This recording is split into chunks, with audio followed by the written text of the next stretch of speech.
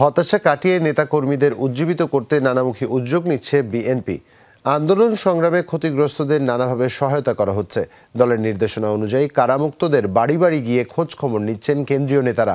এছাড়া রমজান জুড়েই থাকছে ইউনিট ভিত্তিক ইফতার মাহফিল। যদিও বিএনপি নেতাদের দাবি, কোনো হতাশা নেই দলে। উজ্জীবিত কেন্দ্র থেকে তৃণমূল। বিস্তারিত জানাচ্ছেন সহকর্মী Shariful Islam Khan. Hundred percent copper কন্ডেন্সারে তৈরি ভিশন ফ্রিজ তাই গুণে মানে অটুট থাকে বছরের পর বছর। গত কয়েক বছর ধরে টানা কর্মসূচি পালন করতে করতে এমনিতেই ক্লান্ত বিএনপি নেতাকর্মীরা। তারপরও দিনবদলের আশায় ভীষণ চাঙ্গা ছিল তাদের মনোবল। কিন্তু আঠাশ অক্টোবরের পরবর্তী পরিস্থিতি এক দফার আন্দোলনে ব্যর্থতা সহ আরও নানা কারণে চরম হতাশা গ্রাস করেছে বিএনপির কেন্দ্র থেকে তৃণমূলে। রাজনীতিতে হতাশার কোনো জায়গা নেই শেষ বলে কিছু নেই। বিএনপি নেতাকর্মী হতাশ না বরং উজ্জীবিত। দেশনায়ক তারেক রহমানের নেতৃত্বে কেন্দ্র থেকে তৃণমূল পর্যন্ত বিএনপি ঐক্যবদ্ধ।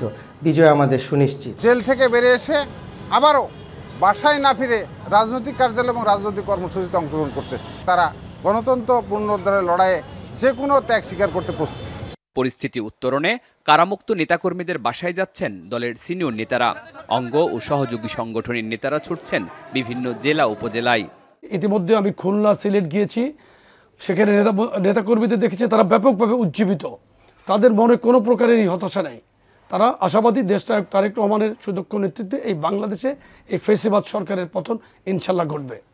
এর বাইরে পুরো রমজান মাস ঘিরে নেতাকর্মীদের পাশে থাকাকে সবচেয়ে বেশি প্রাধান্য দিচ্ছে বিএনপি। নির্দেশনা বাস্তবায়নে কাজ করছে মহানগর থেকে শুরু করে উপজেলা পর্যায়ের নেতারা।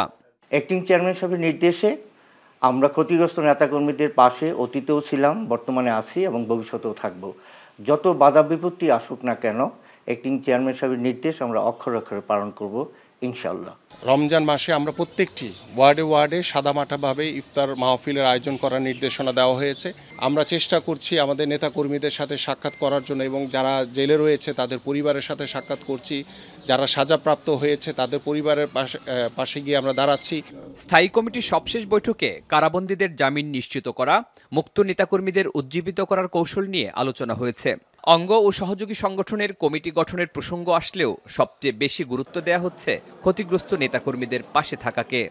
নির্বাচনকে ঘিরে, আন্দোলনকে ঘিরে যে নেতা কর্মীরা নিপীড়িত, নির্যাতিত, নিগৃহীত হয়েছে, তাদের দেখাশোনা করা, তাদের প্রতি সহানুভূতি দেখানো, তাদের পাশে দাঁড়ানো, এটা তো আমাদের একেবারে নৈতিক দায়িত্ব। দলীয় নেতাকর্মীদের প্রত্যাশা খুব শীঘ্রই প্রতিকূলতা কাটিয়ে আবারও রাজপথে সরব হবে বিএনপি। জাতীয় নির্বাচনের মাস দুয়েক আগেও ভীষণ রকমের উজ্জীবিত ছিলেন দলীয় নেতাকর্মীরা, বিভোর ছিলেন ক্ষমতার স্বপ্নে। কিন্তু আঠাশ অক্টোবর দুপুর থেকেই বদলে যায় সবকিছু, এমনকি বদলে গেছে দলটির রাজনৈতিক সমীকরণও। এমন বাস্তবতায় আটক নেতাকর্মীদেরকে মুক্ত করে আবারও রাজপথে সরব হওয়াকে সবচেয়ে বেশি গুরুত্ব দিচ্ছে বিএনপি। শরীফুল ইসলাম খান যমুনা নিউজ ঢাকা।